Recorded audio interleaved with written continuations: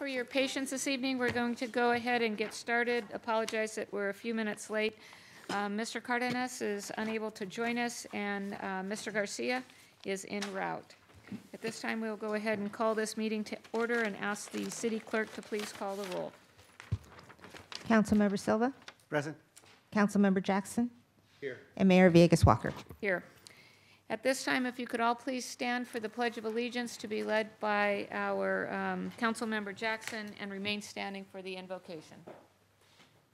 Please join me in saluting our flag. Ready, begin.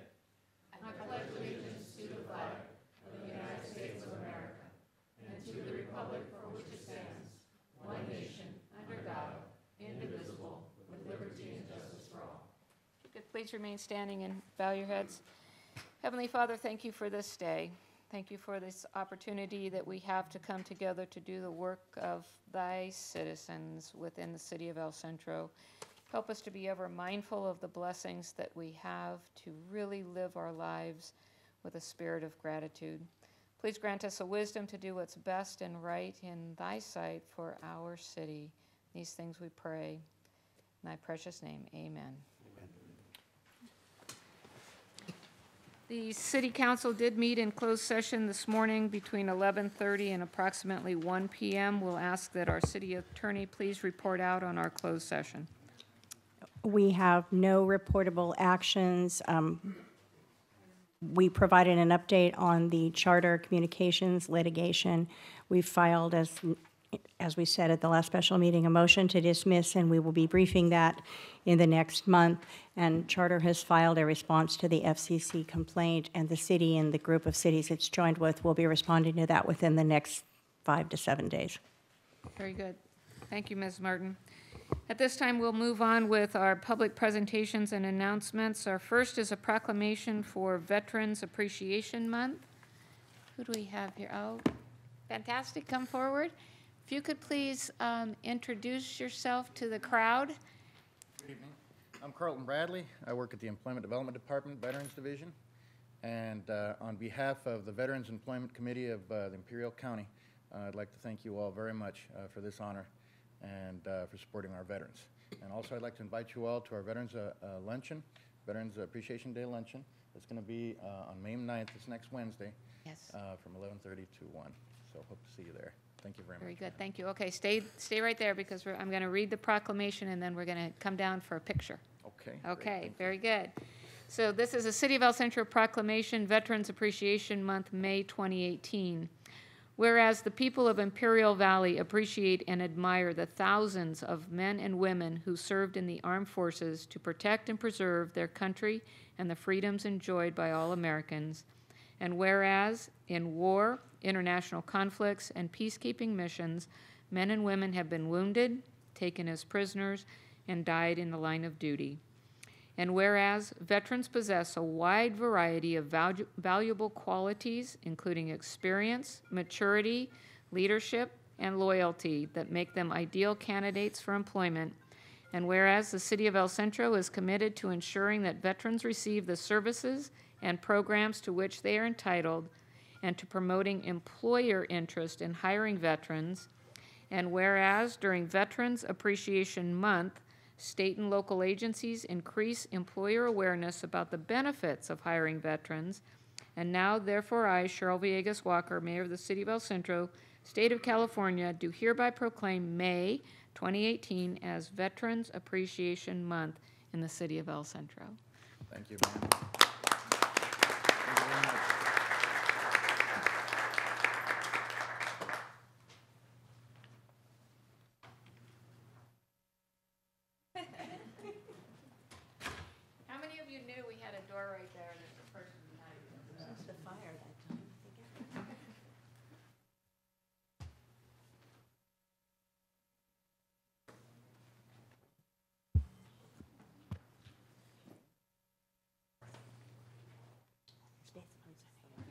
very much, ma'am. Thank you so much.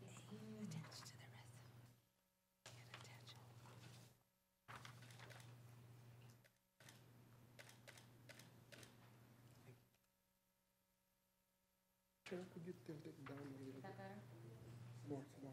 That's good. Thank you, ma'am. Thank you. Thank you. Thank you.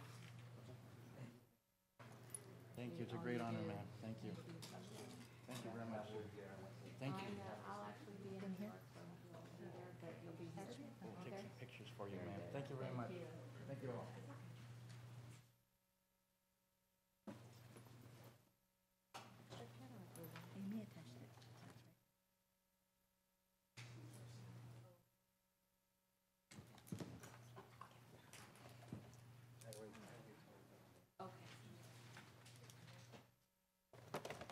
Gosh, they're dropping like flies. Where'd Jason go? Oh.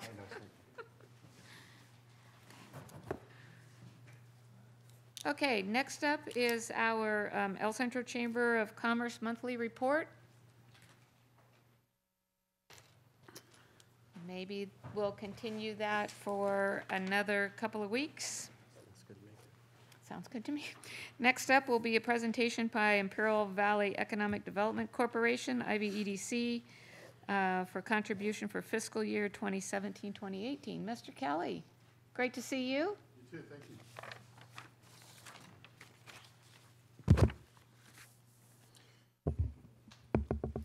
Mayor Walker, honorable council members, city manager, Piedra, Tim Kelly, Imperial Valley Economic Development Corporation, it's an honor to be here today. I have passed out an annual report of IVDC and a list of some of the companies we've assisted this last year, um, list of our executive committee, and um, we will be having our elections and nominations coming up in, in um, July, and Deborah McGarry, Vice President of Southern California Gas Company, our current vice chair, will be running for um, a chair of our board. I want to say that Steve Benson has done a great job representing our organization from the agriculture community. And um, a couple of the uh, companies I just want to focus on, Docs Organics is a company that uh, worked with for about two years. They're now fully operation. They're looking to expand already. We assisted, assisted them with several loan programs, Cal Competes, uh, incentives that have uh, made their company very profitable and are now getting ready to expand. And so now we're continuing to work with them. But I think I wanted to bring up. I'm sorry, yeah, what was the name uh. Docs Organics. Docs Yeah. Got it, perfect, thank you. Uh, It has a regional significance for Imperial County. Uh, Previously, they were using companies in Yuma, Arizona and in Riverside County um, to process their goods. Now they're doing it here in Imperial County, and as I mentioned, they're getting ready to expand. And I just wanted to bring up um, that because it goes along with the business services program that we started several years ago.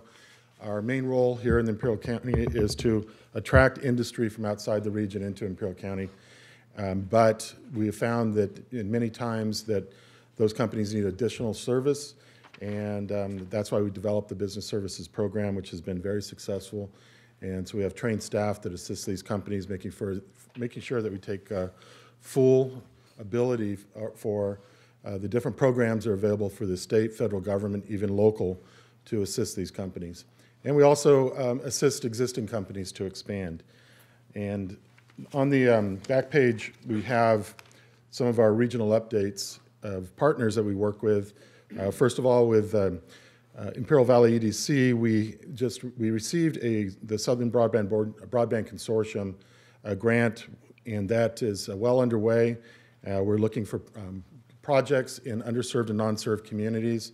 And if you want to know what an underserved, non-served community is, you would think that it's maybe in the outlying areas of Imperial County. Well, it's not. Uh, we had some real challenges here in the city of El Centro in finding a new, location and having adequate broadband. And so it's basically anywhere, um, and you go from having good service to sometimes no service at all. And so we want to make sure we not only look at areas that are low-hanging fruit, such as Bombay Beach, uh, Niland. We did help Bombay Beach and um, Desert Shores, um, Salton City, Ocotillo with projects, but there is a big need here in the city of El Centro. Along with that is training and, and other programs related to that. Uh, One other one I just want to mention in cooperation with Imperial County Transportation Commission is our EPA program, and that has just been um, approved and launched. Uh, We will start the outreach within this month. We had a meeting today with ICTC, and even though Brawley is the main focus of this EPA grant, the intent was, and the support by all the cities in the Imperial County, was they'll create the opportunity to expand that city to city to city. And so we're already looking at the next phase And we hope that what we uh, are able to do in the city of Brawley, we can do in an identified area in El Centro, and most likely, it'll be in your downtown area, uh, Broadway, um, State Street, and Main Street. And so we think that this is a great program that we'll be able to use region-wide. Uh, One of the other ones I want to bring to your attention is the um, uh, Imperial Regional Alliance is a nonprofit that we formed several years ago to allow us to apply for grants that otherwise would not be available to C6. And one of our success stories of that has been the SBDC. And the cooperation between the organizations is very paramount. Uh, I- SBDC was here several weeks ago and talked about their successes. We met all their goals for both the last year and the, and the six-month contract we have, and are well on their way. But part of that is the um, referrals that, that the IVDC refers to the SBDC. And nothing, to, nothing bad to say about the previous SBDCs, but sometimes what might take a week or two weeks as a referral is being taken care of in a matter of minutes. So somebody may come in to see me and I say, no, we can help you here. We can help you with our business services, but we can also help you with the SBDC. And so it's these additional services that we're able to provide immediately. And so we're, we're sharing uh, facilities with the SBDC, and that's, that's really been helpful. As a matter of fact, with some of the other initiatives we have, we're all in one location. And so it really is a one-stop service, but we also work virtually uh, with other partners, such as the Cali Baja Binational Mega Region. And um, we just actually hired somebody that's assisting us create the interaction in the, the um, uh, San Diego and Imperial County for the broadband uh, consortium. So that being said, uh, we, our staff is doing great. We have a, a currently five staff. We have uh, just hired um, uh, a couple part-time. We have two full-time interns. We're looking for more interns all the time. And um, we're a little cramped right now. We are going to be looking for a new location uh, in the next six months. So we're actively looking now. We have three sites that we're considering um, here in El Centro. And so we're looking forward to that move. And um, we continually work with our partners and have tried to make sure that we collaborate, leverage our resources, and create a force multiplier within our region. Uh, Mr. Silva, I met with your staff today, and, and we really had a great discussion of how we can partner with some of the programs to take that to the next level. So with that being said, if there's any questions, I'd be glad to address those at this time. Mr. Jackson? Just a couple of quick questions. Uh, Your current locations in El Centro, you- you- you're looking for um, a larger office. Are the three locations that you're looking at, are they also in El Centro, or? Yes, sir. Yeah, and we're, you know, we're, we're maxed out where we are, and one of the sites is pretty good, or we like it, but we think that with a couple of these initiatives, are each, each of them are going to have to hire additional staff. So we're afraid we're going to have to, we're going to grow out of those uh, locations. We do operate as a regional organization. We provide services uh, throughout the county. Uh, I think some of these initiatives, such as the broadband and the SBDC, um, allow us actually to go into some other regions and help those communities without, um, you know, as I mentioned, leveraging the resources that we have, which has been very helpful. And sometimes, many times, we have to go out to the businesses to meet on location. Um, so now we have the resources to be able to do that. And I think when, with cooperations like organizations like ICTC, that we're addressing many, many issues in the, in the um, outlined areas, underserved communities, transportation, broadband, education, and actually taking a lot of the services to those communities. So El Centro is a central location for us. It's very convenient for not only me, but our staff. Uh, a couple staff that live in Calexico, Heber, uh, El Centro, Brawley, and so this is kind of a central location for all of us. Thank you. Um, Mr. Garcia? Anything? Mr. Th- Silva? Thank you, Tim, for, for the report. You know, I think, um, you know, I can always say that IVEDC is always visible when it comes to uh, the recruitment of, of companies, and, and you've done a, a good, a really good job now for a number of years. Uh, And I'm really impressed uh, in looking at your report on the page where you identify your investors and the number of businesses that are, are deciding to invest their money into uh, making IVEDC the, the viable organization that, that it is and, and, and all the work that you've done. But I think, I mentioned the last time we were talking about our contribution towards the IVDC that um, um, the many projects that I've seen you work on, uh, the one that kind of sealed the deal for me in terms of the value that you provide to Imperial County was Project Eagle. Uh, Although that project did not materialize as we wanted it, but I think the, the exercise of bringing together all of the different companies and coming up with a proposal that was determined to be viable, and we were close to landing that project uh, said a lot to me because I know that if it wasn't for IVEDC and, and um, the organization and putting this together and bringing everybody together and scheduling the conference calls and the visits and all that, we would not have gotten as far as we did. Uh, And so that's just a testament to you and the organization, and, and I know that, you know, with that kind of coordination and effort, we are gonna land that big employer, you know, soon. So I just wanted to say that. I'll just bring to your attention that um, in the report, it shows that we um, received and submitted 60 proposals last year, so it's almost a weekly basis, we're, we're sending out a proposal. Uh, That project in particular was on a site here that's going to be annexed in the city of El Centro. There's already been a- an investment made by $150,000 by the owner uh, for that annexation. They've been working very close with the city to get that done. I think last Friday, there was an environmental review on the project. And we're currently marketing that project already uh, to bring in aerospace manufacturing companies. Um, You know, we don't have a lot, we have manufacturing in our county, but not a lot of it. But we are on the, the um, aerospace supply chain corridor for two of the largest areas in the, in the globe, and that's Los Angeles and Mexicali. So that product is going through here. Our job is get them, get them to stop, Right. and they need a location to stop. So we're working with the Department of Commerce. We're doing some logistics studies, and we hope that that will, you know, take a project that maybe we weren't successful in, but the owner just realized how important his property was to this, um, this type of opportunity and decided to move forward with the annexation and preparing it for an industrial park here in the city of El Centro. Good, thank you.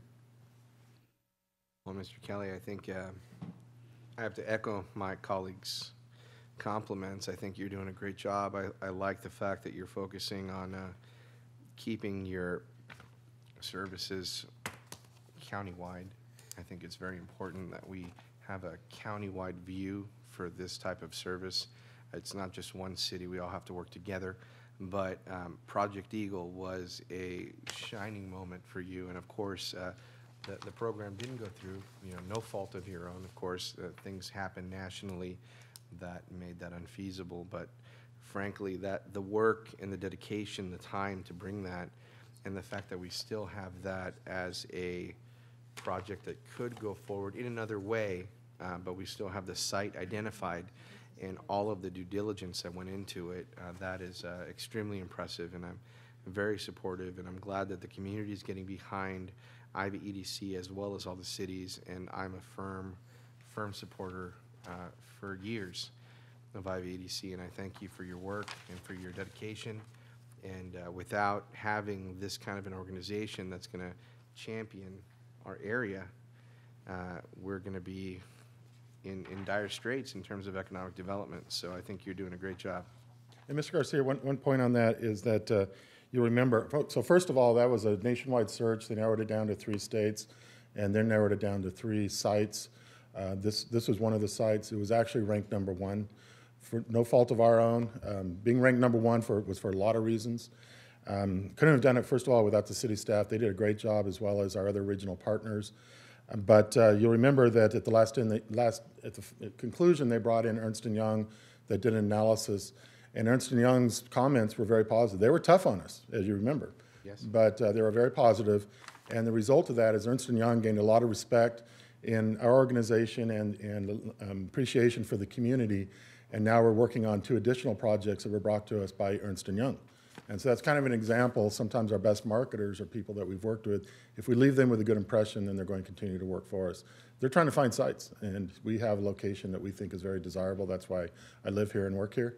And uh, we hope that we'll be successful soon. We are working on some very large projects, uh, three of which uh, are getting pretty close and will create um, uh, regional effects in the Imperial County, and we hope to be able to share with you those in the near future. As a matter of fact, if you do come to the Economic Summit, and that will be, take place, and I, I, I think it's, we're having an economic summit, and then the next uh, evening, we will have, um, ICTC will have their, um, General Assembly, excuse me? the General Assembly. General Assembly, and I think the speaker for that will talk about the importance Imperial County has to the logistics industry, uh, not only here between um, Imperial County and, and Baja California, but throughout the southwestern United States. So we hope everyone has that on calendar, May 30th and 31st, okay? Mr. Kelly, excellent um, annual report. Really very much appreciate, um, sorry about my phone continuing to go off. Um, Couple things. Love the report. I noticed that um, Charter Communications is one of your gold-level board of directors. Could They you are talk to them about getting CBS and NBC back for us? Could I- you We have will had you those discussions. Chat with them Sure. about that? Okay.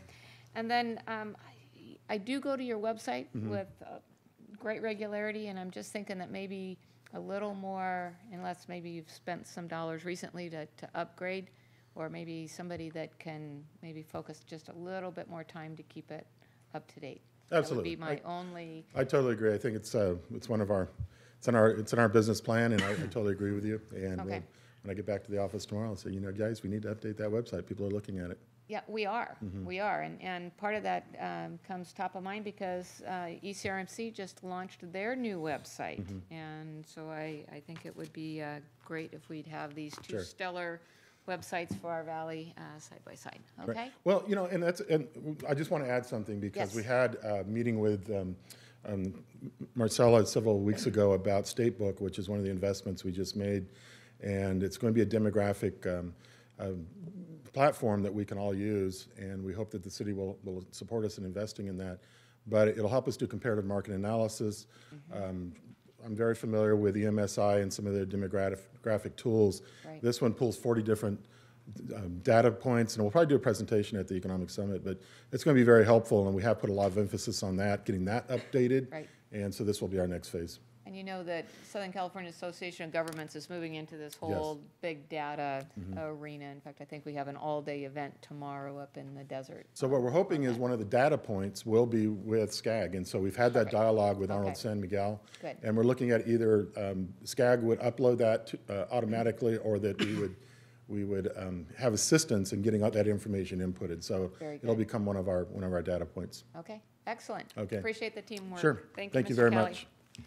Okay, we are going to move on to our consent agenda. We are going to pull items six, seven, and nine. Anything else? If not, then we'll need um, a motion to approve items four, five, and eight. So moved. Second. Can we do a voice vote, um, Ms. Caldwell, or do you want us to wait for a second? If you can wait just a second. Okay.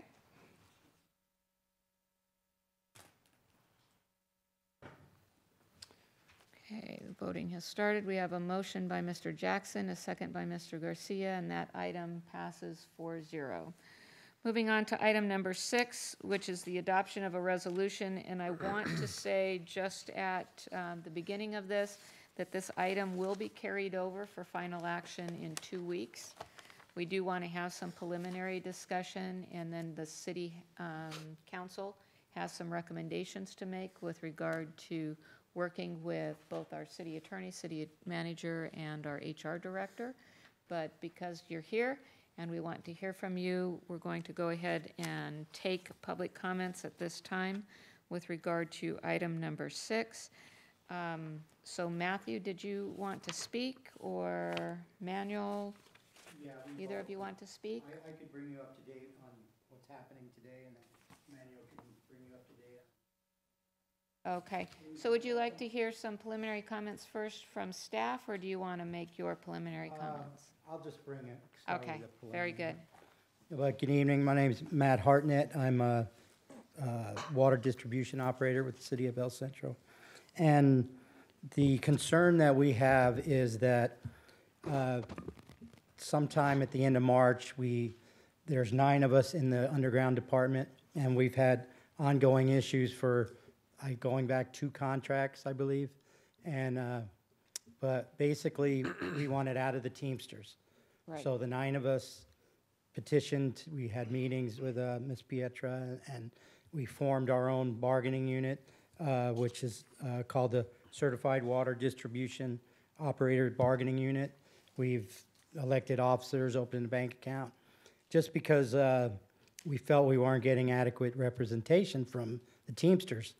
So we petitioned to get out, and then all of a sudden, fire, and- or not fire, but parks, bu- building maintenance, uh, and dispatchers, there was a total of 37 other Teamsters members also wanted out. Oh. So. You guys kind of it's led the kinda like we charge and- had the lifeboat launched and the whole ship jumped in, you know? Which is, you know, we love everybody, all due respect, but it's like, we kind of wanted to get off on our own because we have like some issues that we feel the Teamsters never addressed. So, so today we had the meeting with Ms. Brownlee and uh, Ms. Piedra, and we've been put into the general employees bargaining unit. So now we're even in with more people as opposed to having our own bargaining unit. And we, we don't want that. We don't, Right. we don't feel we're going to be adequately represented there either. Okay. And um, just to, you know, in the MOU, if I could read that part, just what we're basing all this on is in Article Two, Rights of the Parties. Employees' rights, employees of the city shall have the right to form, join, and participate in activities of employee organizations of their own choosing for the purpose of representation in all matters that directly affect and primarily involve wages, hours, and other terms and conditions of employment that are not preempted by federal, state law, or city ordinances. Employees of this city shall also have the right to refuse to join or participate in the activities of employee organizations and shall have the right to represent themselves individually in their employment relations with the city. No employee shall be interfered with, intimidated, restrained, coerced, or discriminated against by the city or by any employee organization because of the exercise of these rights. And just I wanted to state that and see if you guys would honor that statement. Yeah, so did somebody make a notation of where he was uh, referring within the MOU? Okay, Yeah. I'm seeing Ms. Brownlee. Okay. Okay, so we got that. Right, and that's Okay, where that's we're your- at. So we okay. want to exercise that right and have, Right. we're all ready with our own unit and that's where we're at. And that's what we're going to talk about in just one minute. So Matt, thank you very much. Manuel? Oh, he summed it all all up. I'm not sure if you need us up here or we're So, gonna so continue ditto discussing what, it. what Matt said? Exactly, yeah. He took Okay. it, he took it by the horns and Okay. present- gave you the whole entirety of the Fantastic. case, so. Well, a- again, on behalf of, of my colleagues, we're really glad to have you here. And we, we value your input, we value you as employees, and we want to make sure that we're doing the right thing. And that's why we're going to carry this item over for two weeks, and I want to turn now to the city attorney, and she's going to explain what's going to happen in those two weeks. So I hope you guys have some flexibility in your schedules, because again, we're going to ask that you meet with our HR director, city manager, and uh, city attorney. Uh, Ms. Betsy, can you kind of lay out where we are in this process right now and why we are not moving forward with this item tonight? Um, We're not moving forward with the item so that we can address your concerns about the formation of your own recognized employee organization. To form that, you've taken the first step, but there's a second step, and the second step is for the employee organization to be formally acknowledged by the public agency as an employee organization. That has not occurred yet, and there's some things that happen um, pursuant to Meyers-Milias Brown and some other kinds of rules about how, who's in the bargaining unit, what you do, and that kind of thing.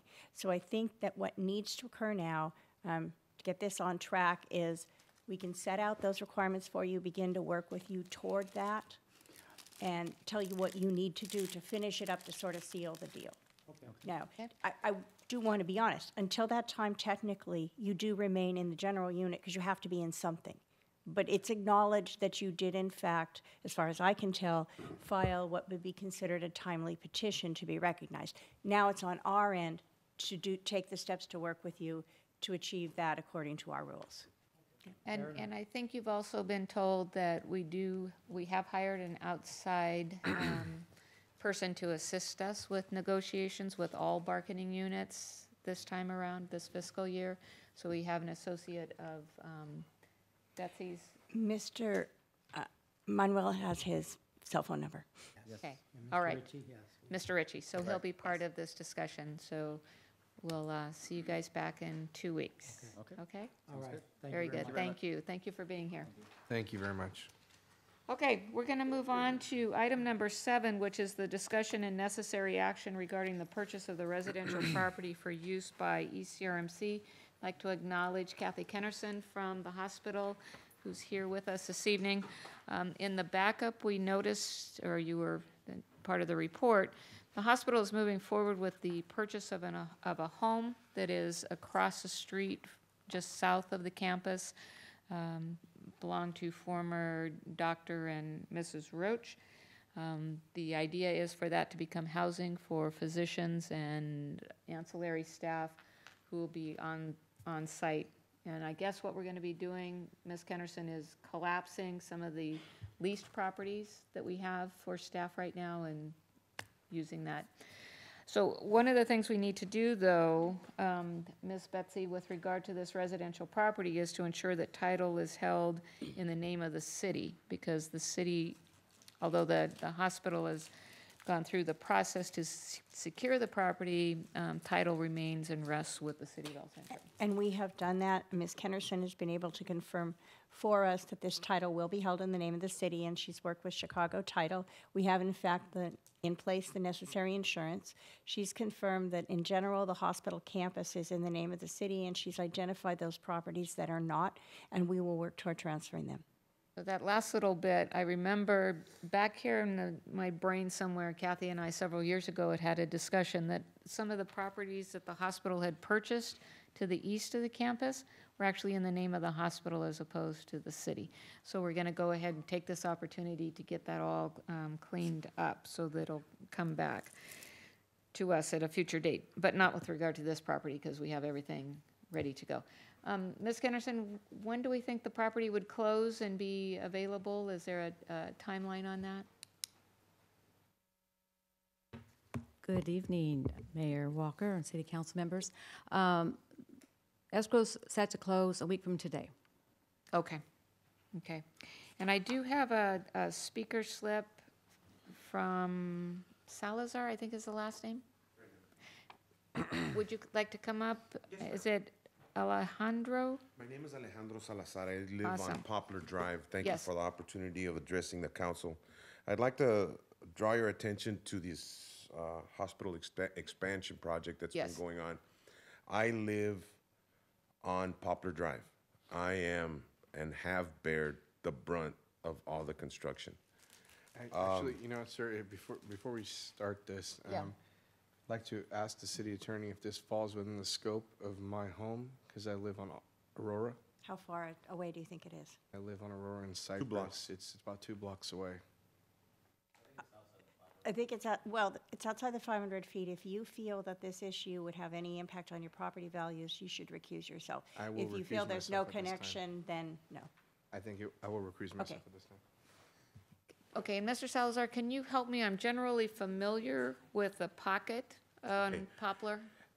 Um, I, the hos, are you familiar with the three houses that used to be there that belong to the hospital? At, at the end of the cul-de-sac. They're, they own five. They own three on the north side and two on the south side.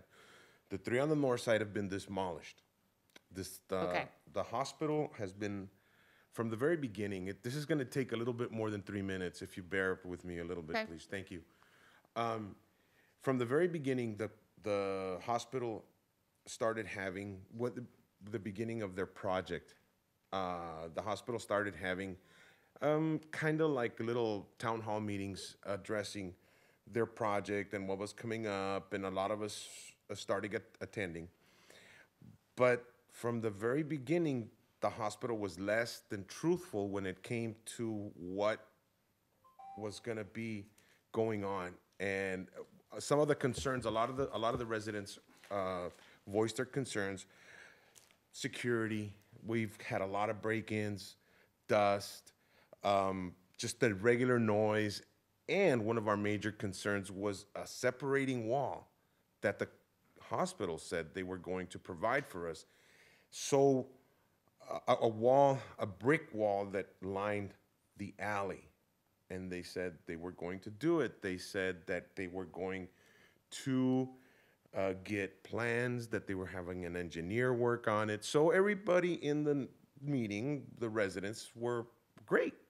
You know, you guys are gonna separate, keep your parking and your customers on your side and maintain the integrity of our neighborhood. It's a really nice neighborhood. I really like it.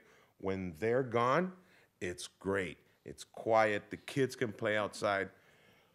When they turned those three houses down at the end into offices, and the city allowed them to rezone. My bad for not taking, uh, uh, opposing that.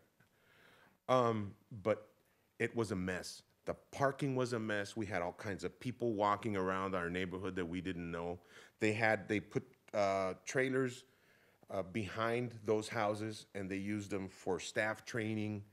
And it was We had our just, board, we had our board meetings there for a time. This was after the building was no longer habitable and had to come down. and I, I, I understand. But it's an, it's a residential neighborhood. And we have to live there. And they have been very bad neighbors. And it just, now I, I feel that by them destroying those three houses, and first of all, they didn't even, they didn't even care about our health. They didn't cover the houses. The houses were built in the 1960s. There was probably asbestos. There was definitely fiberglass in the in the in in, in insulation. Everybody got sick in my house. We thought it was allergies, and I'm talking right next door.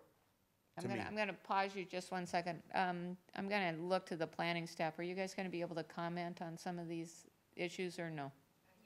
Okay, so we have our planning department here that, if you would continue, and then I am gonna look, Ms. Villicaña, for you to have some comments. Thank you very much. Um, so, as the project progressed, first we were told, yes, you're getting a wall, and we're going to increase security, and then uh, we were told, well, you know, it's not going to happen. The wall is not going to happen because we didn't budget for it this year. So uh, we asked for a special meeting with the CEO, Mr. Adolph. And he flat out said, We're not going to do it. We're not going to do it because how are we going to go ask for investors and spend money putting up a brick wall just for you, pretty much? How are we going to explain spending money? I don't know how many thousands of dollars he said it was going to be to build a brick wall to separate your property from whatever the hospital's projects are. And now they are saying that the houses that were knocked down next door are going to be a hospital parking, not for staff, but for their customers, their emergency room customers. And that they were not planning—that all they were planning to do was put a chain rope up, which is going to allow all their customers on their worst day of their lives, they've got somebody in the emergency room walking in and out of our neighborhood. It's bad enough, it's, it's crime ridden as it is because of the three houses that they used to have there. I don't know how many times their houses have been broken into, their offices. I help keep an eye on it because I call the cops. I know uh, one of their one of their uh, uh, building guys, uh, Mark Obeso. I have a pretty good relationship with him, so I give him a call. Hey, there's somebody walking around the neighborhood in between the houses. So I try to be the best neighbor I can, and they're just not. And and a lot of us have gotten together. We wrote a, a letter, and we addressed it to Adriana Nava in the planning department, and I believe they sent it to the city clerk. And uh, we're just upset that the hospital. And now, Miss, uh, I forget her name. I'm sorry. She offered to buy our house, and she offered to buy the house at at Fair Market Value. First of all, we don't want to move. We've been there 18 years. 18 So, years. Kathy, the answer is no. Oh, well, it sounds like the answer is No. no. Okay. Can I, can I just tell you one, uh, just make one? Yes, ma'am. recommendation. So while we own the hospital, the, the city of El Centro owns the hospital, we don't necessarily control what's happening in terms of their expansion project. So I want you to continue addressing us, but I think uh, Mr. Silva and I also serve on the hospital board, and I'm going to ask you to please come to our next hospital meeting, because Miss, uh, Dr. Edward will be there. And so when you tell me that Dr. Edward said this, I want, Dec- uh, excuse me, I'm sorry. I want Dr. Edward to be there to say, this is what I said, and this is what I meant. So um, I want you to continue to, to talk with us, but I also want to make sure that you get written down on your calendar the next full meeting of the hospital board, which is going to be on May 22nd at 5:30 PM on the hospital campus. And Ms. Kennerson and myself and Mr. Silva will make sure that Dr. Edward is fully briefed, that he knows that you're going to be there, and uh, make sure that you're on the agenda. Great, um, because I wasn't the only one in that meeting when he told us that he just wasn't gonna do it. Okay, so br- please bring I will, whoever I, want- I'll, I'll whoever try to would bring like as come. many people as I can, because Okay. all of us are really upset at what's going Okay. on in that area. Okay, And uh, also, I, if I'm about to run out of time, I would like to address the fact that we heard that the hospital wants to rezone the house on the corner, which used to belong to Judge Harmon, I believe. I believe it's 1204 uh, Poplar Drive, right on the corner. They own that house. And they want to have it rezoned commercial, and the whole neighborhood is opposed to that. Because we don't want them to do that, what they okay. Now I like to deal with facts, so right now we're going to ask Ms. Villicaña to come up. Okay. And she's our planning director, and then, uh, Ms. Villicaña, maybe if it works with your schedule, you could attend our um, hospital board meeting at the end of the month. Okay. Thank you very so, much. uh, Yes, thank you. Mr. Salzar? Uh, Yes, currently, the hospital has submitted an application for a change of zone for that property that was The one mentioned. house. Just Okay. the one house. It's not going to be, uh, the proposed use is not commercial. It would be limited use, public use, just like the hospital and the other properties Okay. uh, belonging to the hospital. Okay. Uh, That's in the process. Uh, We're also processing right now, that's going to go before the city council, a site plan review for a temporary parking where the three homes were demolished. Okay, And we were, uh, we were getting ready to bring it to the council. However, we received complaints from the, uh, from the residents in that area. Yes. So what we did is we had a meeting with Dr. Edward and his staff, was it last week? Uh, to try and figure out how, what's going on, what we can do to minimize the impacts. So we're working on solutions. I don't have an answer right now, but, uh, we have three weeks to work on it, okay. okay? Okay. So I thi- I think that this will be a great discussion for us to have at the hospital with the other trustees present, um, the folks with boots on the ground who know what's happening with the site plan and what's happening at the larger campus expansion, um, will all be present, and we can have that robust discussion at that time. Ms. Kennerson, can I rely on you to, to get that word to Dr. Edward that we'll move forward with that? The, uh, one comment that Mr. Salazar made, um, Ms. Villicaña, that, that did disturb me was with regard to the demolition of the homes. Um, Uh, they did pull permits, so um, I don't know specifically what the problem was, but uh, it's something that I know that the building official and also engineering department uh, were looking at. Okay. But permits were pulled for the demolition. For the meeting at the hospital at the end of the month, could you please um, maybe get a little bit more data? Sure. Because I'm, I'm sure that whoever did the demolition was required to address any kind of Yes. issues with the home and make Yes, sure and the combustibles, whatever, were Right, secure right. and all that. But again, for us to have this full discussion, if you could have Okay. that information We will. available. Mr. Silva? Th- Thank you, uh, Madam Mayor. Uh, The only thing that I may want to add also for discussion, uh, Norma, in in regards to the wall that was mentioned, um, I I seem to recall that there is a wall that would be required whenever you have a- an intense use abutting a residential zone, so uh, just kind of be prepared to address that Okay. at the hospital will. meeting. And, and also if there's been a change, if in fact there was a, a solid wall that had it been planned to be constructed and now is something else, so right along the lines of what Mr. Okay. Silva was saying. Jason? Yeah, I'll just real briefly, um, kind of echo what Mr. Silva Silva's saying. I, I- I feel the one, um, I won't say the one thing, but the, one of the main things that Mr. Salazar was talking about was the wall. And I could see that that would be a, a real issue. Hope that the Hospital would, um, acknowledge that and, and take care of that situation. I guess my other concern would be, is temporary parking, and I guess that's gonna be something that's gonna be brought to us. Yes. Um, I guess I would also have a concern about having just a, a rope chain, you know, Yeah, separating a, a house from parking that's gonna be open to the public. So Right. Just from a safety and security perspective for, for the residents, I think that, that should be acknowledged by the hospital and Okay, yes, That we are. plus, um, Kathy, if you could have uh, Dr. Edward be prepared to talk about enhanced security once the new uh, medical office building is opened. One of the things I wanted to mention to Mr. Kelly is when that office building is open, some of the departments from E ECRMC are going to be moving into there, so there'll be spaces available for IVEDC to look for other space. Okay?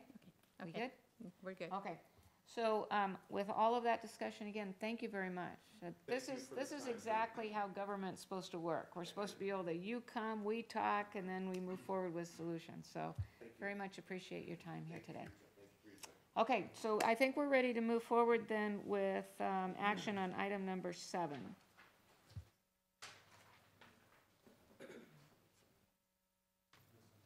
This is the purchase of the uh, Dr. and Mrs. Roach home, and he is going to abstain. So that passes with three yes, one absent, and one abstention. On this next item, Mr. Silva, do you want to declare your conflict, please?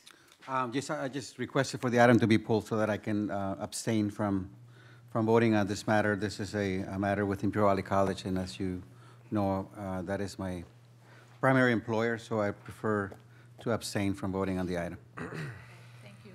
Um, I did have a couple of questions for um, the city manager that I submitted prior to the meeting. Most of them had to do with parking um, at the point in time that the, um, because I guess there's going to be a dedicated parking area for people who are using the pool.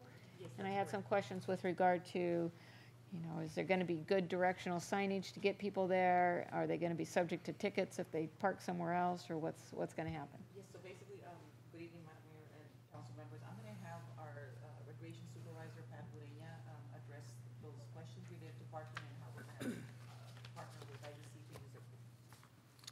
Good evening, Honorable Mayor and Patricia, nice to see City you. Council. I know you brought me here today. Um, We have been discussing the use of Imperial Valley College pool because uh, we pretty much already outused the central pool. And uh, they have been very gracious at allowing us to use their pool for the last, um, I want to say, 10 years. Um, But because we've been receiving a few uh, grants from LA 84, and then we're part of the American Red Cross Centennial, and we were actually extended another two years, uh, we found that um, the central pool uh, was a little difficult for us to work in there and uh, provide all the swim lessons that are required as part of the grant. Uh, This year, we were able to talk to Mr. Torres uh, from Imperial Valley College, and we found that um, Imperial Valley College was in dire need of, you know, expanding their programs as well. And last year, our staff was actually helping Imperial Valley College with lifeguards. We trained their water safety instructors uh, because they didn't have that capacity. So this year, we have the capacity because we just had someone uh, uh, get the academy uh, certification. So now we're able to provide the uh, trainings over at, um, at IVC. The other thing that we're working out with IVC is also providing a fall campus class, accredited class, so that they can start providing lifeguard and certification classes in water safety instructor. Okay. Yeah, Because it's, in- we're in dire need. All the cities are, are hurting with lifeguards. And as you know, El Centro has been chosen as one of the cities to provide standard programs. We're keeping um, on top of all the requirements. And so in part of our conversation and your conversation regarding, or your, um, your concern regarding parking, we're working with parking control. Uh, we do have lots, Lot E, which is about two hundred, and, and it'll serve two hundred vehicles. Uh, our staff will also be putting signage along the side, and we're also gonna be putting it on the marquee. But that's people coming from the, uh, Highway one eleven, Right. um, going, um, uh, westbound. So if you're coming from, you know, Aten Road eastbound, we are gonna put signage as to where you turn, and I, staff and I are working on that, um, already. Um, Just to kind of give you a little bit more um, uh, information, we're also working with security, and uh, we've been talking about this for about a year, how we would promote the program out there. So with social media, uh, Facebook, and um, our website, we're going to be letting people know, especially when they register, we're going to give them a map, and we're also going to tell them, this is Lot E, this is where you park. For public swim, we're going to be announcing it on our, um, on our PA system, that if anybody is here for uh, open swim, to please park in Lot E. Is there a chance that they might park in lot, the other lots? Yes, and they will be ticketed because, but parking uh, control is aware that we're going to be out there this year. What So if we're we- going to what if we continue to work with have- them. What if we're in need of overflow? What if we have like a wildly successful, have more than 200 cars show up? And we probably will. Yep. Um, we are working on getting another part of the parking lot, um, scheduled for our program. And again, we're meeting with IVC next week to try to locate more parking in, in close proximity to the gymnasium and to the swimming pool. That'd be awesome. Are we going to use both pools this summer? Are we going to use Central and IVC? No, we're just using IVC because we're, we're extending our hours from eight o'clock in the morning to nine o'clock. We're extending our, our public swim. Um, because over at Central Pool, if you know, we don't have lights inside the pool. Right. We don't have lights on the outside perimeter or inside perimeter of the pool, and we have to share the pool Right. with the swim team, and that's kind of caused an issue with us trying to program all the swim lessons. Right. And in the survey we did last year, we had people uh, wanting more swim lessons in the evening hours. And um, if you remember, when we had the city plunge, our biggest capacity was at night from six to ten. Right. We were at 300 every night. So we're hoping that we can also do that. IVC just uh, refurbished their pool about two years ago, and they have brand new lights. Uh, they did the lane lines again, the the, the swim lines, and so we're looking forward to having a lighted parking area, a lighted pool, and we're probably going to be br- uh, bringing back some nice activities like um, night movies, uh, hot dogs on Saturdays, and, and we'll be able to uh, have a venue out there as well. So we're excited about uh, going into unknown waters, kind of. But um, I No think pun we're gonna intended. no pun intended. But I think we'll, we're gonna do well with our social media, and I think people are gonna be um, absolutely happy with the, the staff that we're continuing uh, continuing to train. And with IVC, we're able to use their pool in May, so we can start our water safety instructor courses and also our lifeguard courses. When will we start registration for the swim programs? Uh, it looks like for our swim program, it'll start May, I want to say 14th, around May 14th. Um, and uh, we're actually opening it up to El Centro residents only First. first. And, then we're going to open up to the general public. Okay. We have about 350 scholarships that we are going to provide for unduplicated Learn to Swim uh, participants. LA 84 Foundation, uh, we just got word today that we did get our grant, and they're going to provide 200 scholarships for kids ages 7 to 17, um, and that's part of the Learn to Swim program. The other one is the Centennial Program. We're getting 150 uh, scholarships to for the Learn to Swim, and that's for all ages because of our high drowning in the Imperial County. Um, we're also having scholarships for the uh, lifeguards, water safety instructors, and junior lifeguards. What about adults who never learned how to swim? Those will be provided, and they have been provided uh, since last year.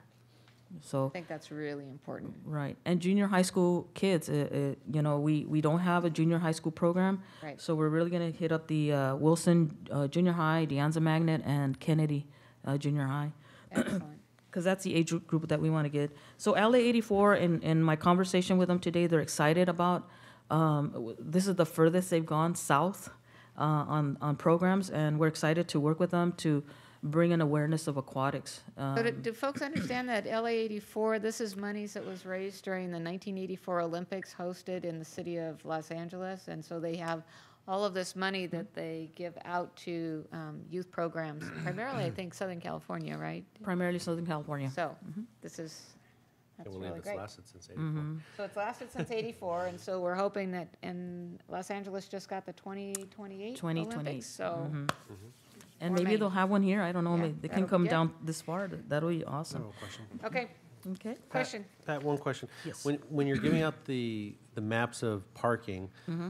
during registration, what about maybe uh, transit schedules? Because Me- Now that we're moving this away from the city, there's gonna be some people that maybe don't have transportation, they're gonna be relying on our, on our transit system. So um, it might be a good idea to supply them with that also for the bus schedules. Yes, uh, we are working with the uh, transit centers um, to find out when the buses get to IVC because there are morning classes out at IVC, but I'm not sure how late they run.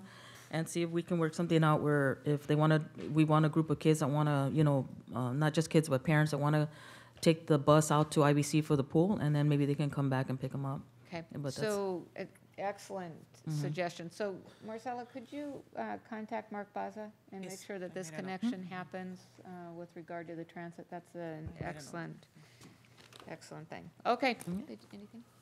We're good? Good, great program.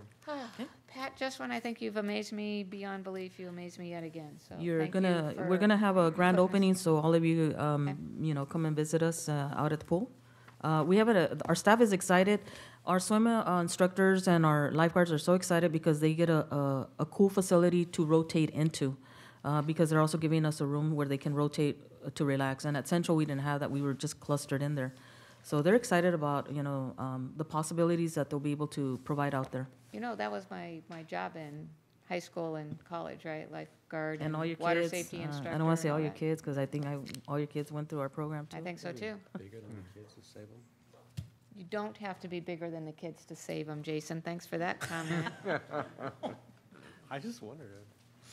You know, karma has a way of coming around, Oh, mister. yeah. Okay, I think we just voted on that, and, do we have it? Question, Mr. Silva. Oh, can oh, you do oh. abstain on? Okay, awesome. Great job, Pat. Keep us posted. Thank you. Okay, we are done with the consent calendar. We're moving on. Ms. Stacy, item number 10. This is our public hearing. Okay, good evening, Madam Mayor, Honorable Council. This is the city council that missed the Arbor Day presentation last week. No, not, not the No. entire one. Did you, I did was you there. make it? Okay. And Kenzie was there too. Aw. Yeah, her first Arbor, her first Arbor Day. Our first Arbor Day, yes. And thank you for that, Jason. Um, good. the item you have before you right now is a substantial amendment to the 2017-18 CDB Annual Action Plan. Uh, it- We're requesting a reallocation of funding from the El Centro Aquatic Center uh, for this program year to be reallocated to the McGee Park uh, restroom and snack bar project. Uh, Currently, the Aquatic Center project, uh, this is a snapshot of what the funding and the um, amounts of money we have available for the project. Uh, For the tax increment bond funding, we have a little over $9 million available. The CDBG funding that was previously allocated for this project was strictly for the purchase of equipment. It was not to be used for construction. Uh, There's an estimate of the equipment and furnishing cost of about seven hundred and we were gonna try and use what we could of the uh, annual allocation for the 17-18 year to be, help with the, offset the cost of the equipment for the, the uh, purchase of the equipment. Uh, With the problem we were running into, again, that we had run into previously, is the, the HUD requirement of a timely, it's referred to as the timeliness test. On April thirtieth of every year, the HUD runs a report that shows the funding we have on hand. We are only allowed to have a amount equal to one point five percent of uh, the annual, ac- it's a one point five ratio of the funding that, for our current uh, grant amount. They just did our timeliness test yesterday, and we are in compliance, so that was good news. Um, So base, the aquatic center schedule would, we are looking at coming to you guys in next council meeting for the bid award, looking at beginning of construction in June of 2018, and completing construction of August, in August of 2019. Do you know how frustrating it is to finish a massive pool project two months. Before summer ends, We're right? gonna push all we can. No, I think I the mean- first original one we had us finishing in October, It was right after summer. I mean, if, if there is anything that we can do to push this forward, guys, go. come on, 60 days to get this pool open, come on. Um, so we, we, we realize it with the importance of rushing the schedule. It is a three hundred day, uh, construction, work construction schedule, which puts us in August. Um, The problem we have is that the HUD timeliness test for 2019 falls right in the middle of that construction. And because we are looking at using it to purchase equipment, that it's not going to happen soon enough. And we need to look at uh, reallocating funding to a project that will get the money spent before this timeliness test. If we don't have the money spent prior to this, we do stand the chance of being sanctioned by HUD, and they will, they can and likely will withhold funding for the next program year. Okay, so tell us what you want to do So instead. the, the recommended um, project al- allocation was actually brought to you in the eighteen nineteen year, the annual action plan, which would be the demolition of the current um, restroom and snack bar facility at the community center in McGee Park, and the reconstruction in a, an area that will service all of, uh, better serve the, the, new- the new playground and the basketball courts, the splash pad. And it, you'll see in the next slide, it also prepares us if we are uh, fortunate to receive the LWCF grant, uh, the Land Water Conservation Fund, where we are looking at, um, in the future, we've had the grant application in for phase two of the McGee Park. It'll, uh, relocating it will not only, it- the, the facility at this time does not meet current ADA standards, so we are not in ADA compliance, uh, the current standards. Additionally, it is dilapidated and starting to fall apart, and so we're looking at, whenever we brought it to you, we let you know that we felt it was necessary to demolish it, and if we're gonna do that, reconstruct it in an area that's better accessible to all of the park, and the new, the, not only the current facilities, but the planned future Okay, facilities. so, so help me with this. In most of our other parks where we have um, snack bar facilities, it's because we have private leagues that utilize the snack bar facilities as, as ancillary to their programs, right? So what's the purpose of having um, a snack bar facility at McGee? Who's, who's practicing there? Who plays there? What leagues are there? So, so the proposed project um, will allow us to, you know, um, continue to do our soccer program. And the, um, what we want to do with, with this project is also include the uh, flag football league, because we're out of space everywhere. We run a, a flag football league every year, and uh, we have nowhere to go. We've actually used McGee Park, no, we've used uh, Swarthout. We've had to go to Starkville, and it's hard to use Starkville because we have Pop Warner out there. Right. So this facility is going to be multi-use for soccer, um, flag football, as well as uh, small little training sites for small s- soccer kids. So do you envision the city then operating the snack bar as opposed to? Yes, we've had um, the snack bar when we do our flag football league. Okay. And when we start doing our small little soccer leagues for the small, tiny zero to fives. Right. Or not zero to five, but three to fives, uh, we do want to provide a snack bar out there. Are there other questions? Not necessarily a question, but I think, um, you know, I'm a little disappointed that we can't use the money for the pool, but I cannot think of a better project to substitute that than, than this Right. project that is so uh, desperately needed as well. So I think that's a good idea. If I could show you, um, just, just a, a couple pictures of the current conditions. The, uh, recommended project does include uh, redoing some of the sidewalks and benches and, uh, the, uh, trash cans and so forth around the build, the new building. Um, to show you the annual allocation that you guys approved for the 2018-19 year was, uh, came out to estimate of 336,173. We won't know the actual amount until we get notified by HUD of our annual allocation. The construction estimate for the project, including contingency, is four hundred and eighty. So even with the 18-19 year allocation, we were short on funding. We were gonna have to be searching for additional funding to complete it. And with the, uh, al- the reallocation of this funding to that pro- or this project, it does fully fund the project, and we'll actually probably have some left over. But it will fully fund the project. And what's our timeline? The timeline is, um, the, you guys approve the substantial amendment tonight. By the time we do the, we'll have to do a thirty-day public hearing or a public notice here in El Centro, then it, um, goes to HUD, and they have an additional thirty days. We are looking at going through a design procurement. Um, our housing inspector has done some preliminary plans, but he does want to, uh, use the task, or the on-call contracts to have Right. uh, the actual plans Yes. prepared. And we're looking at a bidding period in September, looking and beginning construction in November. Okay. Completing in February, which puts us well ahead of the April uh, 30th ti- uh, timeliness Perfect. test. Even if something were to happen that it was delayed some, we'd be substantially into construction and a majority of the funding would have been Okay. spent already. So it helps us in achieving the timeliness test. Are we in, in contact with members of the McGee family? Or Can we track them down? I bet we, c- The only one I think, and I don't think she lives here, is Mary Mc- okay. Um, I think I might contact Ms. Sanders and see, because if there are members of the McGee family that would like to come down for, you know, like a ribbon cutting or something, that'd be pretty cool to have them there. Okay, so I'll contact Sedalia. Okay. All right, this looks good. This is a public hearing, so at this point in time, I'm gonna open the public hearing. Is there anyone that wants to speak on this item? Seeing none, we'll close the public hearing, return to council. Comments, questions? None. None?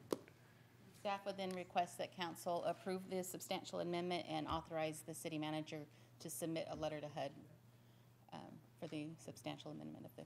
They wouldn't plan. say no, right? Uh, we- We've never had them say no yet, as long as Perfect. council's on board. It's our, it's a community decision. It's, Perfect. Okay, we have a motion by Jackson, second by Garcia.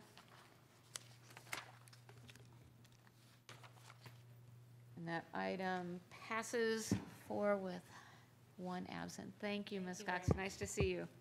Okay, we are moving on then to item number 11. Although, you know what, I, I apologize. I think I would like to, with, every- if everybody's okay, we're going to move up item number 12. Sorry, um, Ms. Salcido, we're going to bump you back. So we're going to take item number 12. This is new business. This is a public hearing to consider a recommendation of the Planning Commission on a sign ordinance text amendment. Ms. Villicaña? Mr. Coyne, I didn't think you wanted to sit through our budget discussion, but if you want to, I can put you back where you were. Okay.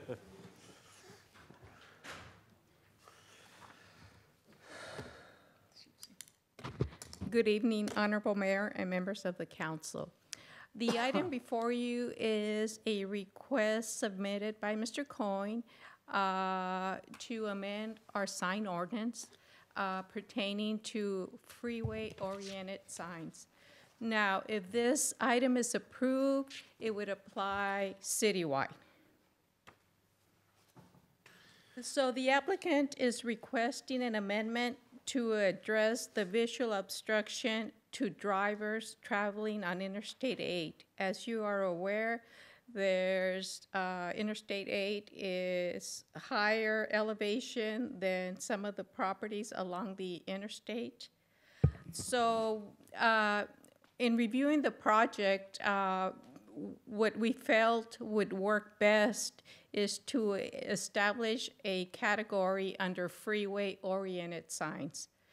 And this would only be applicable to uh, general commercial properties and tourist commercial properties that are uh, 800 feet, no more than 800 feet from the freeway, from Interstate 8. So by doing this, it would allow higher signs due to elevation differences uh, between Interstate 8 and the surrounding properties. And it would also allow, allow a larger sign area. Basically, what we're proposing is under the CT and CG zones, uh, these freeway-oriented signs would be allowed. The maximum area, again, would be uh, four square feet for each foot of linear front, frontage, up to 800 square feet. And the maximum height would be 50 feet as measured from the top of the sign to the horizontal distance to the nearest Interstate 8 travel lane. So if you can imagine the interstate being at a higher level, so the sign would be 50 feet, it can, from the interstate.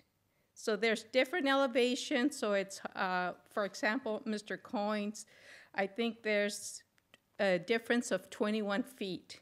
So he would be allowed to have a pole that's 71 feet, uh, 50 plus the 21. So that's the intent.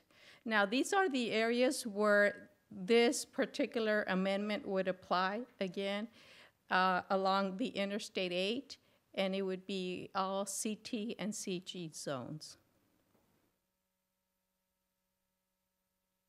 And this is uh, how we will calculate the sign height. And again, it's going to be calculated based on the nearest travel lane of Interstate 8. Okay? Who's, res- who's responsible, Ms. Villicaña, for making sure that that height is agreed upon? That they're measuring from the nearest travel lane, that it's an additional, like you said, 21 feet? Who's responsible for The making sign sure? company. Okay. So when they submit uh, building permit uh, plans, we're going to verify that. Okay. Okay, yes. right. Uh, These are just uh, elevations that were submitted with the application. In this case, it would be uh, um, Coyne Power Sports, along with the other uh, possible tenants within that site. One other change that we're making also is that currently, we allow one pole sign per parcel. And if you can imagine, Mr. Coyne has four parcels. So we would rather have one pole sign than having four pole signs. Right. So we're making that change also with this amendment. And these are just uh, views from the westbound interstate. As you can see, how the, uh, the proposed signage, pole sign, uh, this is a view from Interstate 8 going west, and this is going east.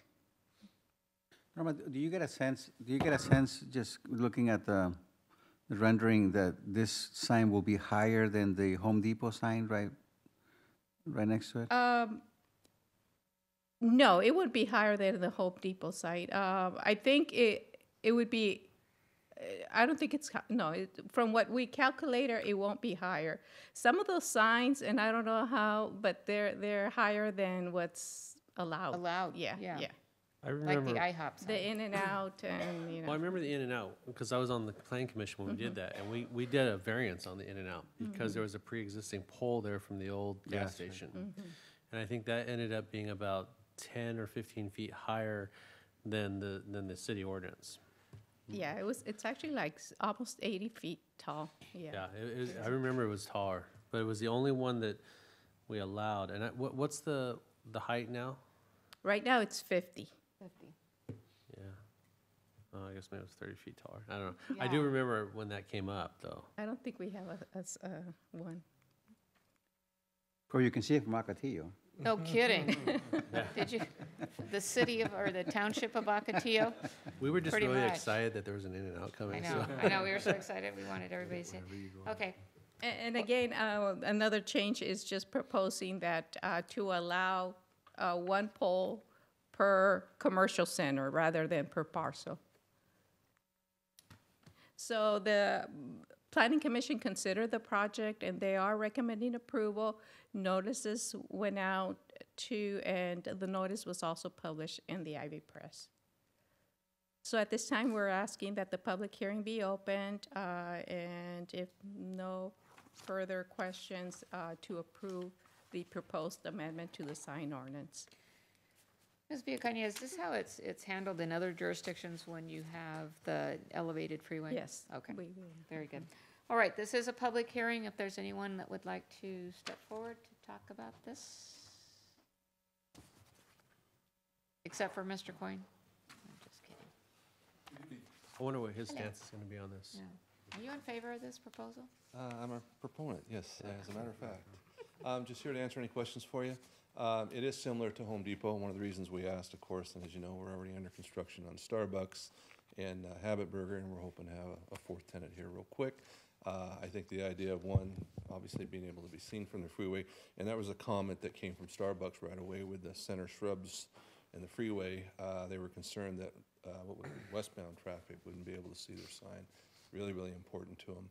Almost to the point where they actually had asked, uh, we, we, they cannot open Starbucks uh, until the sign is up, so time is of the essence. Uh, I guess when you get that powerful and big, you can make those kind of demands.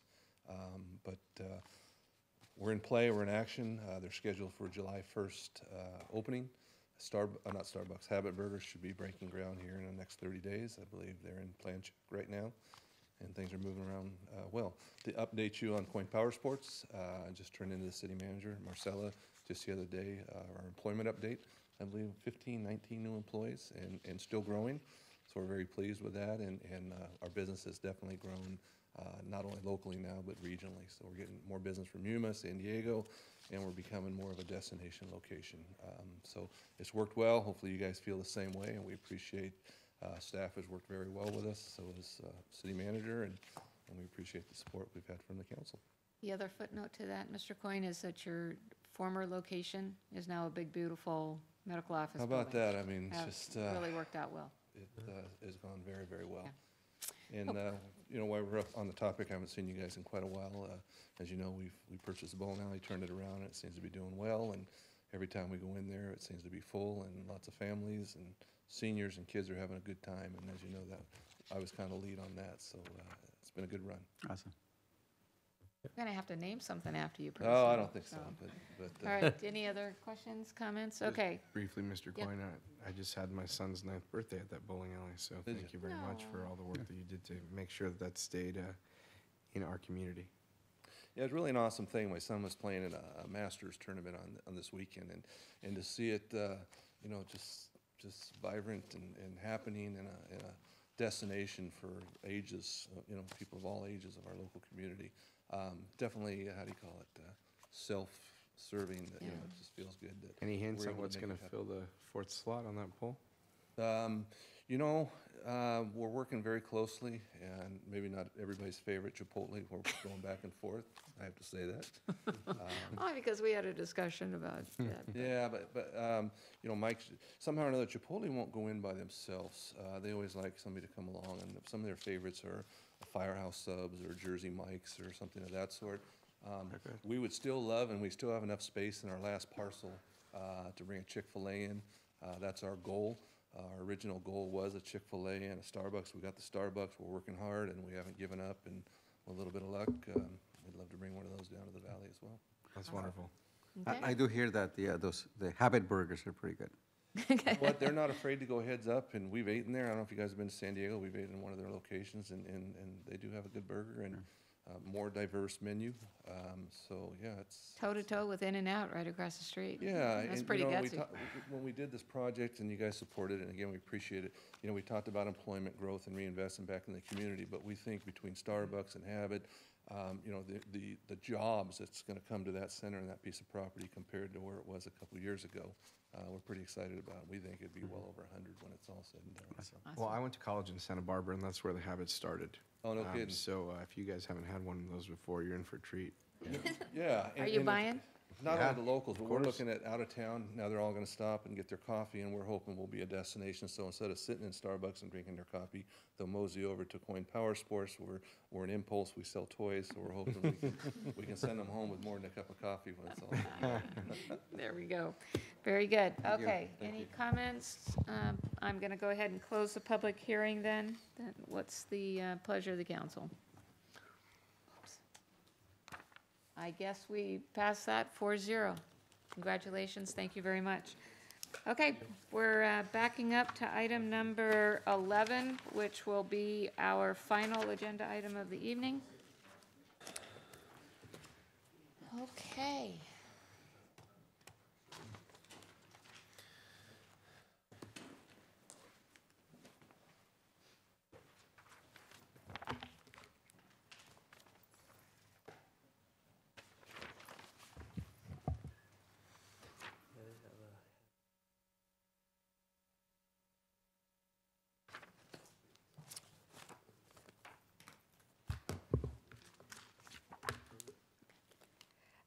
Okay, good evening, Madam Mayor and council members. Welcome to our second budget workshop for fiscal year 2019. Um, Today's workshop will be covering the enterprise funds, that's water, wastewater, uh, special revenue funds, and construction project funds.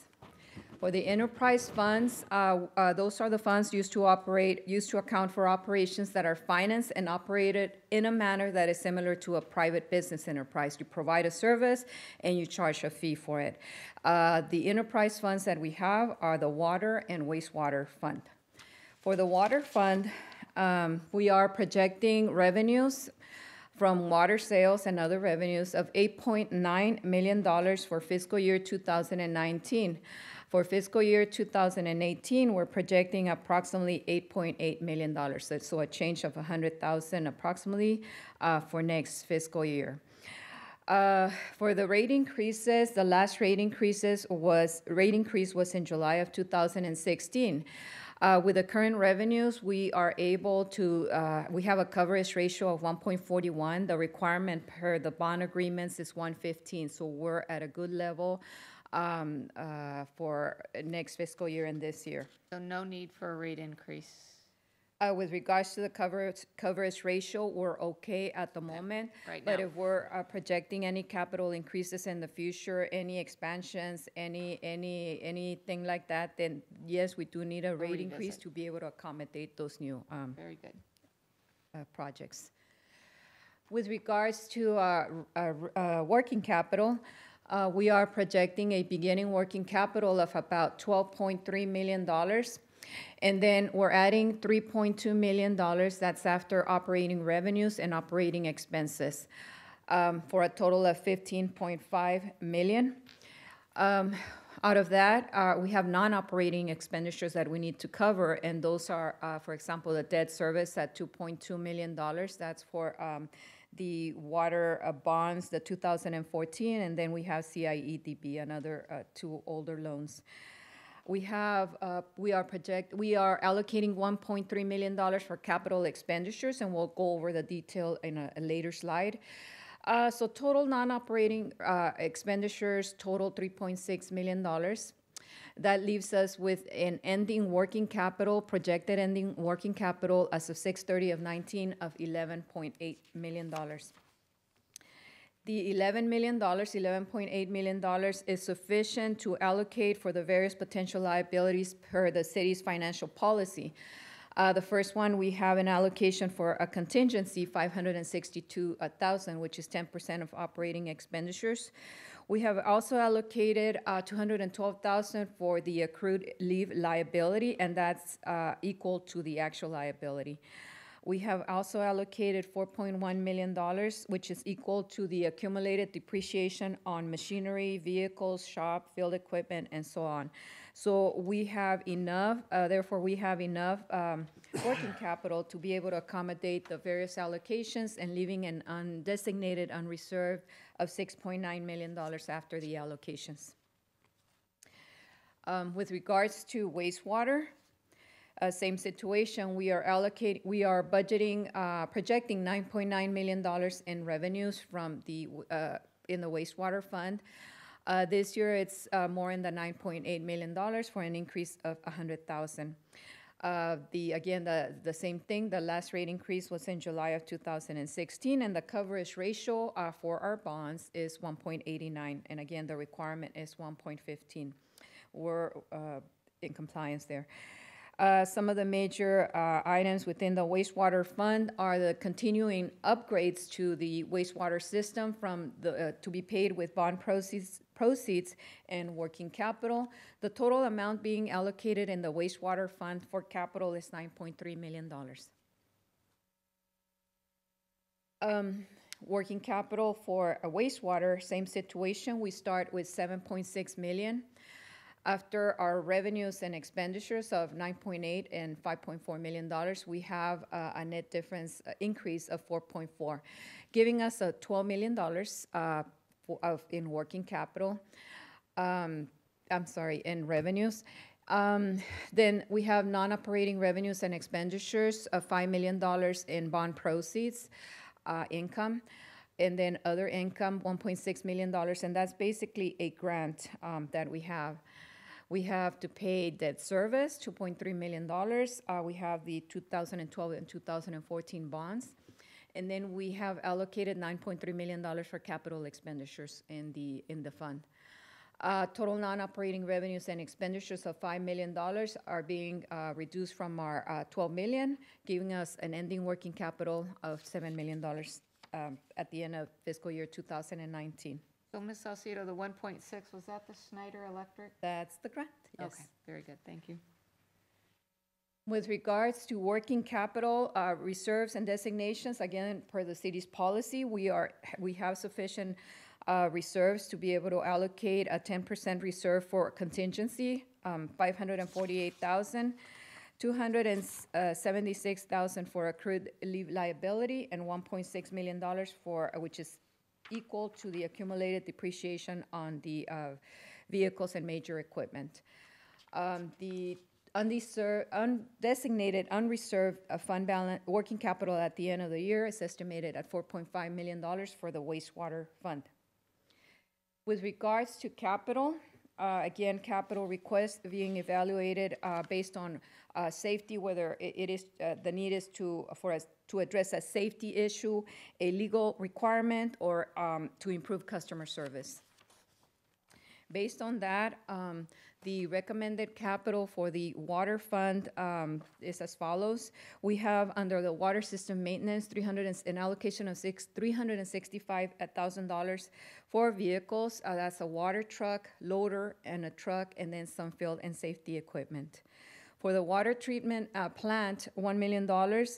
For uh, water meters, uh, 750,000 uh, repairs to the water ponds, a hundred thousand, and then uh, there is a small capital purchase, thirty thousand flow meters, existing pump, eight thousand, new mixer, fifty thousand, and twenty-two thousand for anthracite replacement, and then forty thousand for um, relocation of controls for the valves on the uh, filter gallery.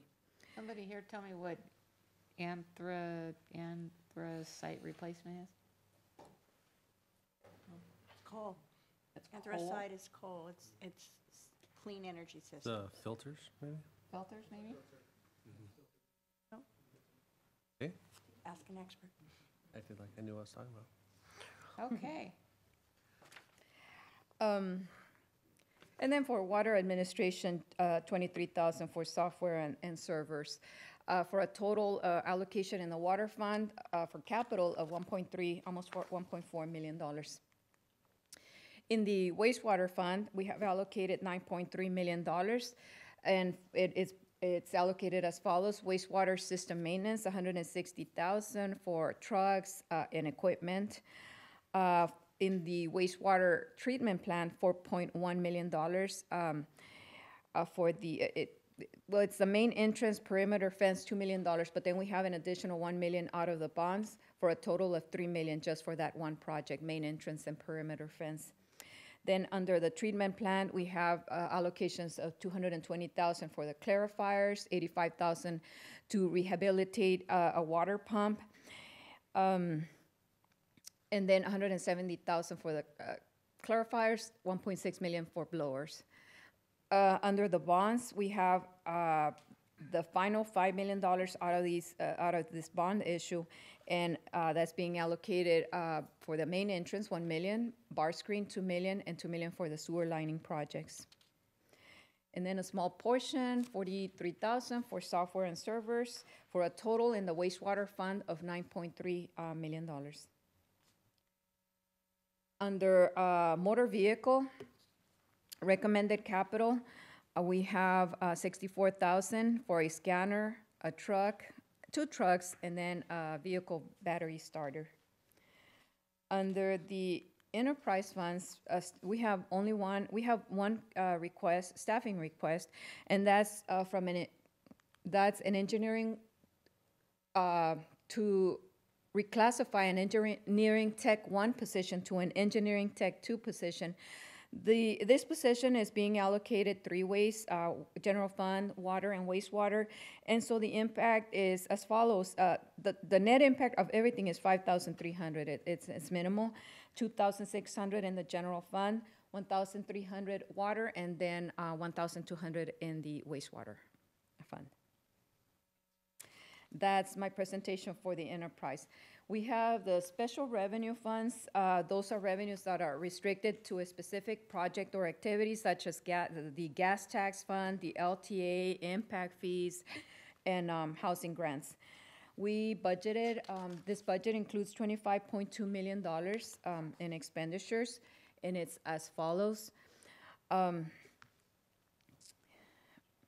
The uh, beginning fund balance is 35 million.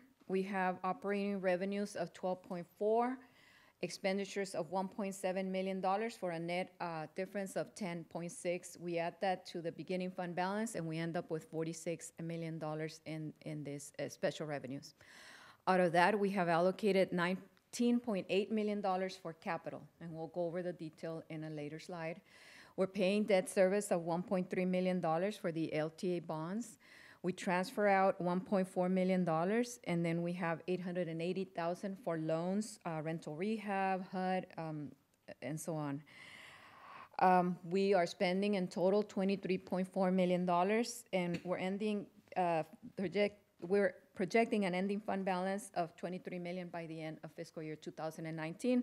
And again, fund balance in this case is a good, uh, declining is a good thing because that means that we're using those one-time revenues for, and we're completing all these projects.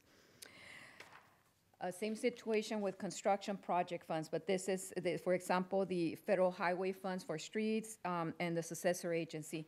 These are uh, used to account for the acquisition and construction of major capital facilities out of these special revenue funds.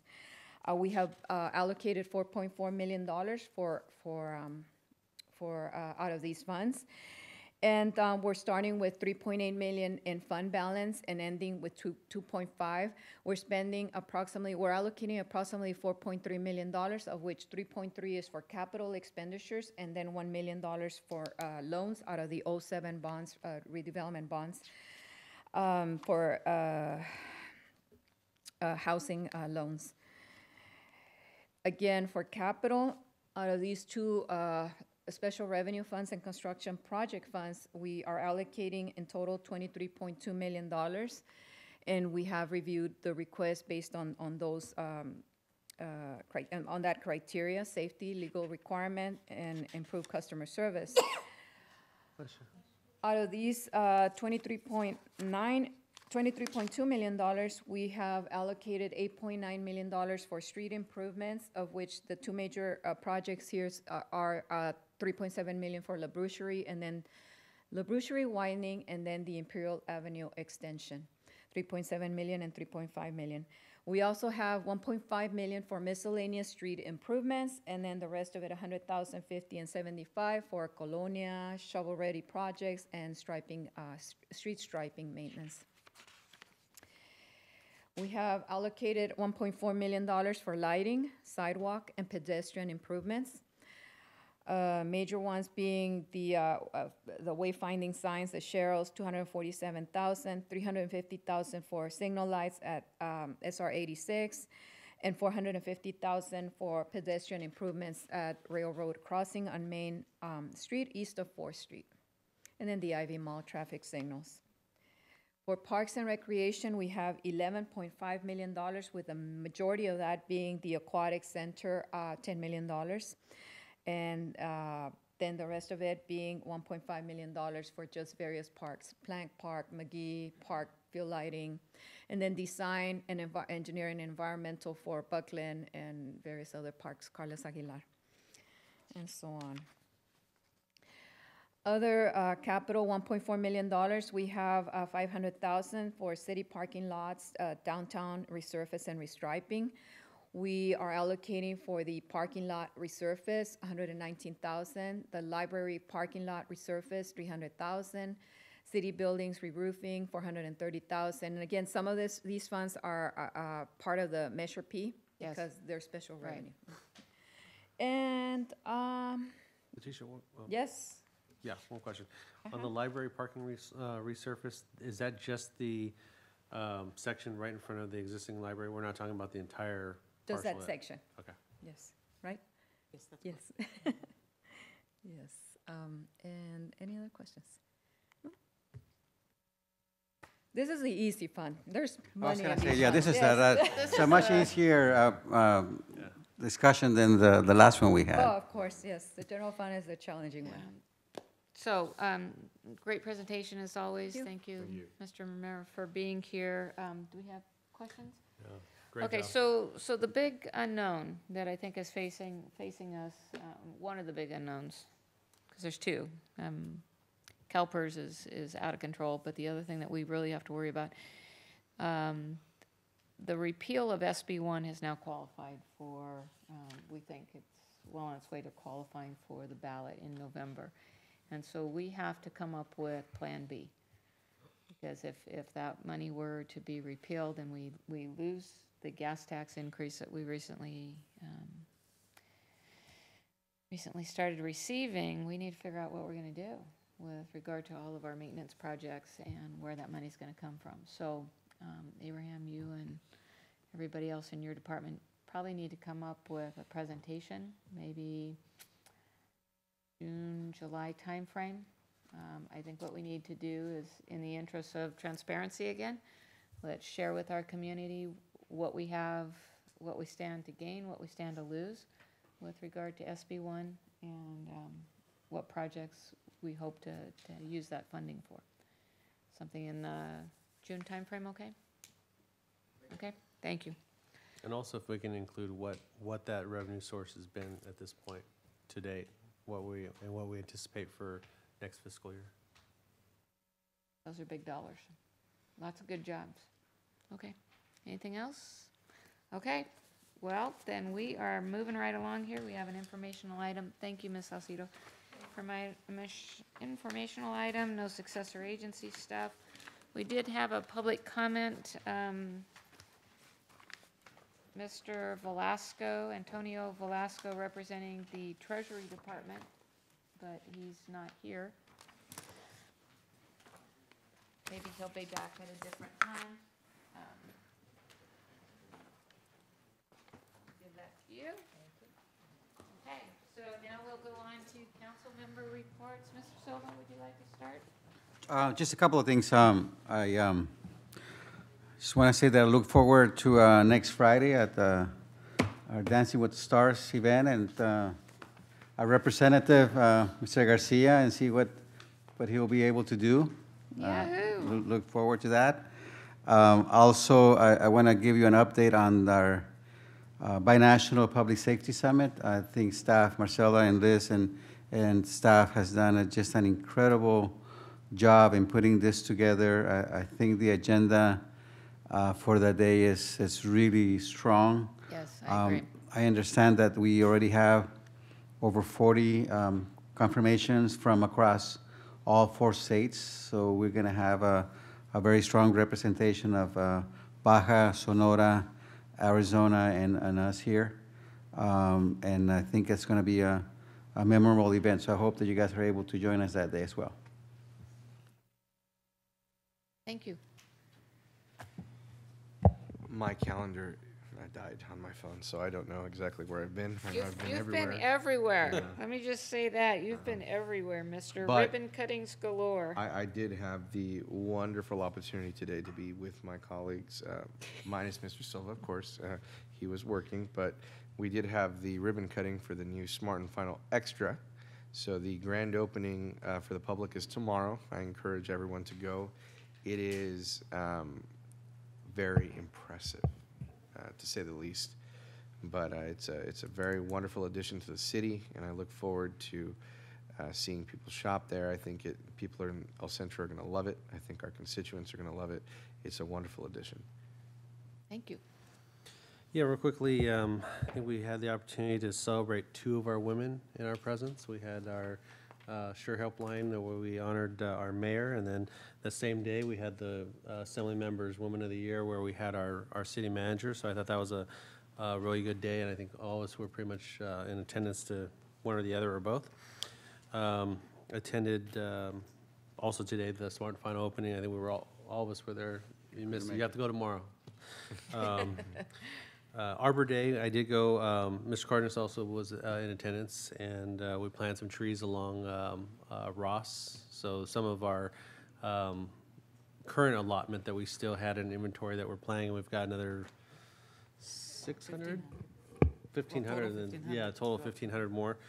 Um, And um, Community Services Commission and LAFCO. So uh, busy last couple of weeks, but, um, and we welcome our, our chief to our Community Services uh, um, Task force. task force, and so uh, got a little flavor of, of how that works. But uh, uh, Chief, you'll, you'll see that that, that committee really moves a lot of our agenda, so we get a lot, a lot of work done there, so. Fasten your seatbelt when Yeah, you're at that one. We move fast in that one. Yeah. That's all I got. So, uh, since the last council meeting, I was in Sacramento for two days. One day with the uh, League of California Cities Legislative Ad- Advocacy Day, followed the next day by the League of California Cities Board meeting. Uh, The next evening was a Sure Helpline Dinner, and I do appreciate having my colleagues there in attendance for that. And congratulations, Ms. Piedra, on your recognition from Eduardo Garcia's office. Uh, With regard to the El Centro Regional Medical Center, um, at that meeting, I've asked Dr. Edwards to put together a protocol for when we have a concern with a patient that's there. Um, I think that our tendency, I know my tendency, is to pick up the phone and call Dr. Edward and, you know, expect him to be in room 221 and tell me what's going on. But with regard to HIPAA regulations and different things, he's probably not the go-to person. So I've asked him to develop a protocol that will go to the um, hospital board first and then come to us. Uh, So we will know where to direct our calls and then he to call us back if we have folks. I know that this, we're so glad that you're back, Ms. Villicaña. We were all very worried about you and we know that Mr. or Dr. Edward received lots of calls and so we're glad you're back. Um, so then we did have the uh, Community Enhancement Task Force meeting. The minutes will be coming back to you um, very soon. We also had a staff meeting with regard to Beverly Lane and issues that they're having there with regard to their IID raw water availability. So it- was great. We had IID in the room, we had um, LAFCO in the room, our staff, and I think that we came to, came away with some ideas on how we're going to handle that on a going-forward basis, not only on Beverly Lane, but also similar situations throughout the city. That night, we also had the ICTC meeting um, at 6 o'clock. ICTC is, is requesting that the City of El Centro work with the Heber community uh, for, during the summer months, being able to provide curb-to-curb service for seniors within Heber to get to their senior nutrition lunch site.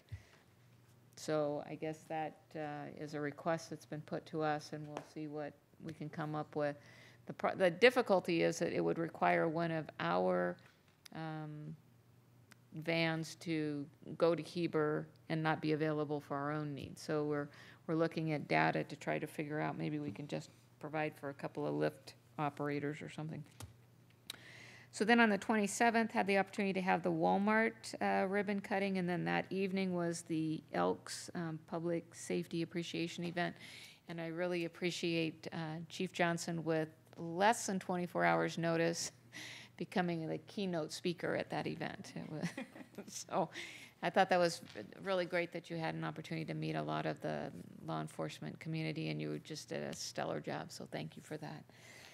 Uh, The next day was the Dogwood AMPM, AMPM noon ribbon cutting. Uh, They had a fundraiser also for CASA, so that was pretty cool. And then uh, today, of course, we had the Smart and Final ribbon cutting. I'll be headed to um, SCAG tomorrow to attend the uh, General Assembly. Tomorrow is the Future Communication, or excuse me, Future Communities Forum, the Power of Shared Data.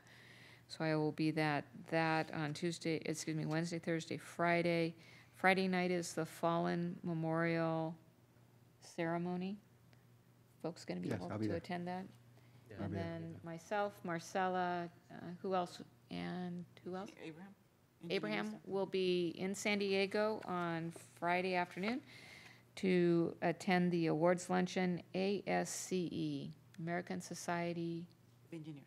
of Engineers, Californian Engineers, maybe. Okay, civil engineers, excellent, for our um, Eighth Street project. So we'll be Madam Mayor, picking I, I don't think that you're doing enough. I think you need to find more things to do. So with that, um, I am going to wish everybody a very good evening. Is there anything else to come before this council? If not, then we are adjourned. Thank you all very much.